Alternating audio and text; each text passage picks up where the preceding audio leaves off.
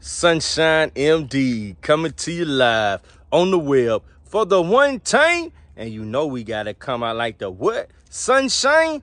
Today, guys, I just want to just give y'all an insight on just how my heart is so warm, you know, today. And uh, I always want to be that big stand-up guy for my kids and, you know, be a great leader. And uh, just for my son today, want to come out and work with me today on this, you know, this rainy, muggy day. It look cloudy out here, you know I just wanted to just say it's a blessing, guys, you know. And when these guys come to work for you, you know, pay them, you know, look out for them, you know, so they'll know in the world that they know they got to go to work. And when they go to work, they get paid for what they're working to do.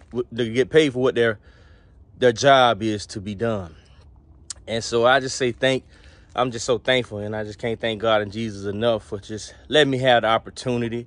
You know, uh, ever since he was a baby, you know, I was like, man, I can't wait till he get on up some size to where he come work with his dad, you know. And uh, today I'm able to experience that moment. And uh, things are just a, it's a blessing, you know. And I can't thank God enough. And uh, there you go here and work attire. Yeah. So that's a blessing.